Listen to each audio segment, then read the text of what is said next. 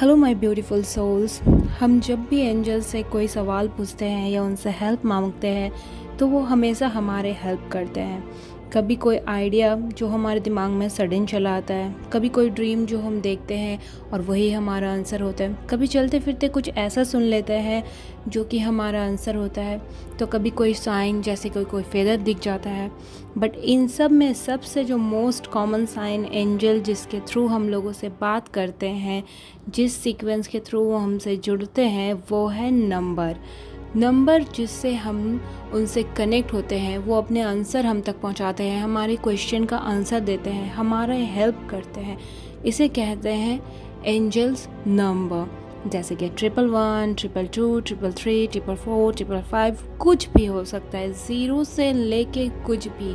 सो so, आज मैं आपको बताऊँगी अगर इस वक्त आपको हर तरफ़ हर जगह नंबर फाइव फोर थ्री दिखाई दे रहा है सो so इसका मतलब है आज से हर दिन आपके लाइफ में सब कुछ अच्छा होने वाला है। हर दिन आपके लाइफ में सिर्फ़ बेटरमेंट होने वाली है।